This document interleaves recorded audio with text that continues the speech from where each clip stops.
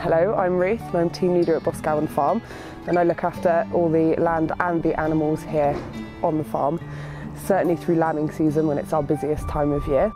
These guys all waiting to lamb behind us. We've got 13 lambs in the field at the moment um, and we do have a set of miracle twins. Their mother was brought in a couple months before lambing, very unwell. She managed to pull through and we weren't expecting the babies and they were the first lambs to hit the ground on Friday and they're doing fantastically well in our field. The people that we support here get to be involved in every aspect from feeding and cleaning them out to caring for them when they are giving birth or being born.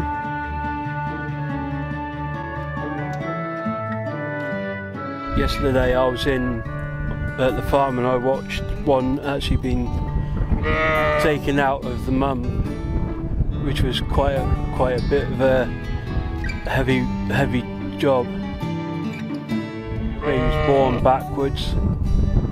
Try and pull it from pull out by the legs, and then once it's out, try and get it to breathe, like rub its belly, and then clear out some of the stuff that's around, around the mouth and the nose.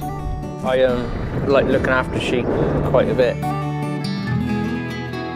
put some straw, straw down for bedding and for baby lamb. It's fantastic to see the guys get involved when we're lambing certainly. They get to experience that entire system of watching the ram go in at the first place and then seeing our lambs run around the field.